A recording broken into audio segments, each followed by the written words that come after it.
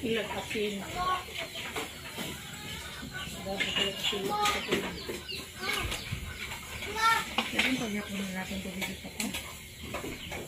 Mm.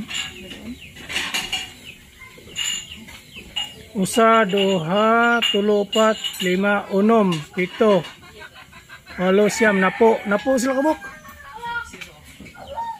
Naklaro sa imong picture. Ang bisa ng imong sininabi ka ng usubit. Kanang tawid. Wow, doy tabay pitol.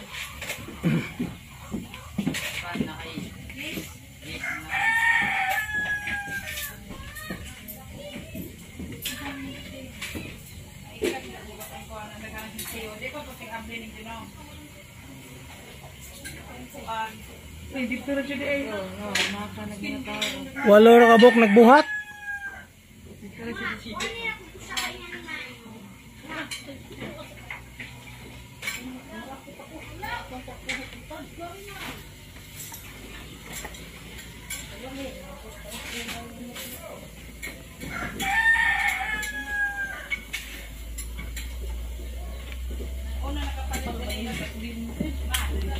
una ganina nakapalit sa pakbet.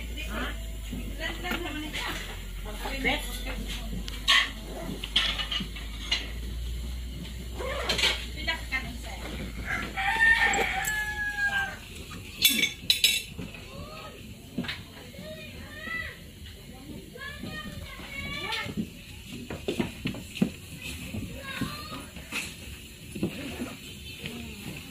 yung mga dito, no?